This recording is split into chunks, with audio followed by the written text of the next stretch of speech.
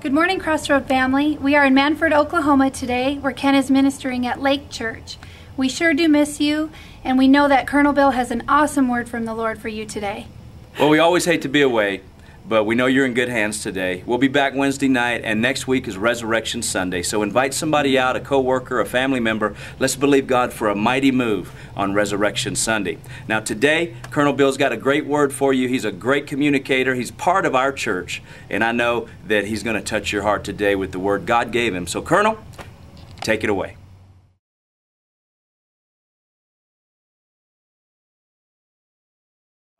You're with me. Hey, today uh, I want to talk about together we will make a difference. You know, this is that catchphrase that you see on the slides. You know, when when Josh can't put anything else up on the screen, he puts that up there. And and I'm just one of those kind of people that that hmm? You know, what in the world does that really mean? I mean, you know what I mean. Together, we will make a difference. Yeah, yeah, got it. No, I really mean it. Together, we will make a difference. What difference? Think about that for a minute. What is it that we do around here that makes a difference? A catchphrase like that is used in business, successful businesses all the time. It's important that our church has one. You see, a branding, which is the you know corporate term for this little phrase that, that you put up there, is, is who you are. What's your product? What's your service? And what is your culture by which you communicate that to the rest of your clientele? Branding, okay? Together, we will make a difference, if you will, is the branding of Crossroad Christian Center. And so today I want to talk about the last phrase of that, a difference. We could spend a whole sermon on together. Oh boy, does the church need to be together, right? I mean, Jesus in John chapter 17 prayed, Father, they may be one, even as we are one. We could spend some time on that, couldn't we? We could talk about the commitment in we will. By golly, gotta have it, man. It's gotta be right here. Right? But right here for what? So for me, the real key phrase to understanding that, the real key words in that phrase is a difference. Okay? Now, um, I learned something about preaching in the first service.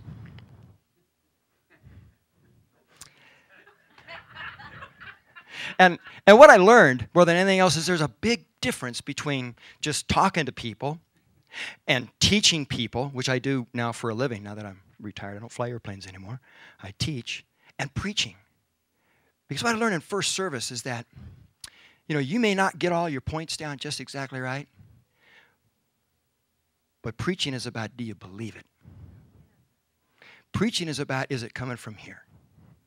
Okay, and I guarantee you that what I'm about to speak to, you know what? I probably don't even need my notes. And what I got to speak to, I got it memorized because it means that much to me. Okay? A difference. I love the difference that Jesus makes in our lives. And that's what it's all about. You see, Jesus came preaching the kingdom of God. You have your Bibles with you, I know you do. Pastor Ken would be all over you if he didn't. He'd be going, my, my, my. Right? He would be saying that. But if you go to any one of the Gospels, you'll see that Jesus came preaching the kingdom of God. In Matthew chapter 4, you know, we'll, we'll just go through it really quick. Okay? Matthew chapter 4. Verse 17. If you want to write that down, we're not going to spend a lot of time on it. Just going to note it really quickly. It says, From that time Jesus began to preach, and he says, Repent, for the kingdom of heaven is at hand. First things out of his mouth, the first sermon, the message, his purpose was to bring the news of the kingdom of heaven. Turn to Mark, just to say that Matthew didn't just, you know, make something up. It was so important that Mark captures it in his first chapter, verse 15. Start in verse 14. Ah, there's that rustle of Bible pages. Love that.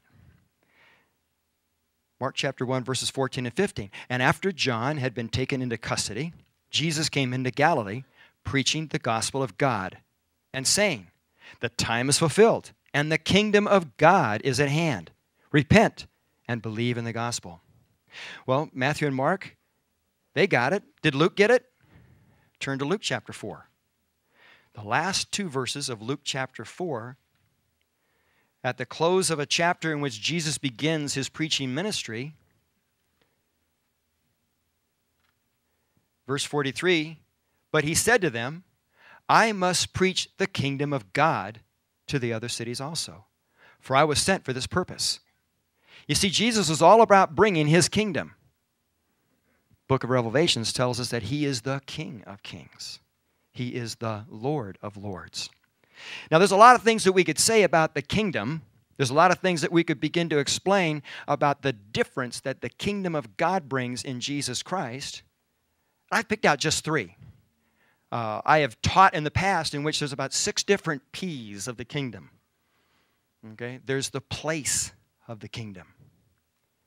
Jesus teaches us in John chapter 14, he says, I go to prepare a place for you. In my Father's house are many mansions, many rooms. And if I don't go, then I won't be able to bring you. Speaking to his disciples. That whole stretch of John from about verse uh, chapter 13 on till, till the close of 17 is all his last final instructions in fellowshipping at the Last Supper with his disciples. So it was very important for them to understand that there's a place in the kingdom a place for you and a place for me. How's it go? It's a big, big house with lots and lots of rooms, and a big, big table with lots and lots of food, and a big, big yard where we can play football. Amen. We know that song. Describes that place in the kingdom. The second P, if you will, would be the, um, the P of the process. You see, Jesus came, brought his kingdom, leading us to a place, but there's a process that he teaches us, and he demonstrated it from his first breath all the way through. And it's the process of faith. Mm, yeah. You see, how often do we see in the scriptures Jesus commending those who believed. Remember the centurion? I love that line. Me being a you know, military person, I love that. You know, the centurion sends his servants, you know, send for Jesus, ask him to pray, to heal my servant. My servant's a good man. I'd like to have him around for a little bit. And then Jesus is heading that way, and the centurion's going, Whoa, whoa, whoa, I didn't mean bring him here. I just meant tell him to say the words. And what did Jesus say? Oh, man. I haven't heard such great faith in all of Israel. Jesus is jumping up and down. Can you believe that? I mean, he is so excited about that. He's looking people in the eye. Have you heard that? Can you do you get it?